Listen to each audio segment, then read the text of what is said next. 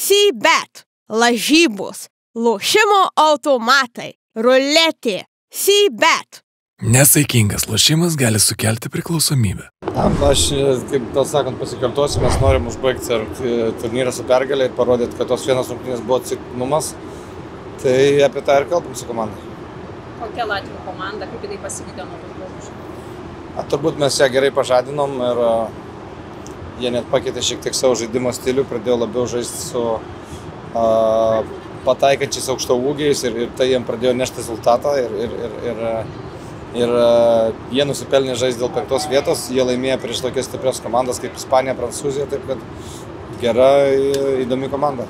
ko gero labiausiai bent jau mane stebinantis žaidėjas yra gražulis. Ką jis duoda Latvijos komandai iš tam? Na, jisai toks gali žaisti per dvi pozicijas, bet e, Latvi- Latvių treneriai jį pastumė į vidurio polio poziciją, jis duoda jiems mobilumą gynyboje ir, e, ir e, polime išplečia aikštelę, taip kad e, pastato varžovus šiek tiek į tokią e, neįprastą padėtį. Vokiečiai po sensacijos tos pergalės prieš Ameriką sakė, kad pasimokė iš lietuvių pirmosios pergalės. Ar jūs žiūrėdamas tas rungtynes matėte tuo metu, ką jie galėjo pasimti iš jūsų žaidimų? Na, bandė atakuoti tos pačius taikinius, buvo nemažai paus situacijų, kad e, galbūt ir pasėmė kažką. Stebino, kad amerikiečiai nežais dėl aukso pasaulio čempionų.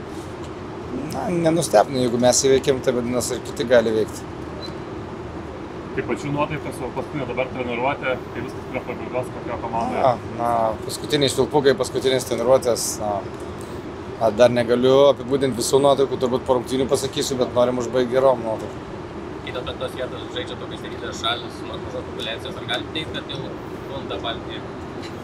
Na, šitam čempionate įrodė, buvo abi stiprios komandos, demonstravo gerą krepšinį, taip kad smagu. Pasaulio čempionato finalas, kaip Jūs matot, kas gal to šansai pabučių lygos? Abi komandos vertos, abi Vokietija iš vis be pralaimėjimo, kaip atsimenu, serbai paskutiniu metu labai gerai žaidžia, tai aš, aš, aš šiek tiek statyčiau už serbus.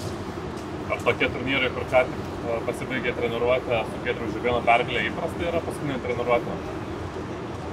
Kaip sakėt, Ar tokie turnyrai, kaip ką tik Gedrius Žibėnas laimėjo iš vidurio metimo, ar įprasta yra tokius daryti visos komandos? Na, visi turėjo daryti, visi turėjo dalyvauti žaidime ir, ir, ir, ir, ir, štabo nariai ir na, laimėjo netikėtas favoritas. Kodėl Jūs atsisakėte? Na, tiek to, ne, nenorėjau ge- gedrių gadinti dienos. Tai matėte Žalgirio logotipą? Mačiau, gera. Aš ginu žalgerio spalvas, ginu žalgerio logotipo spalvas, aš negaliu kitaip sakyti. Sybet, lažybos, lošimo automatai, ruletė, Sybet. Nesaikingas lošimas gali sukelti priklausomybę.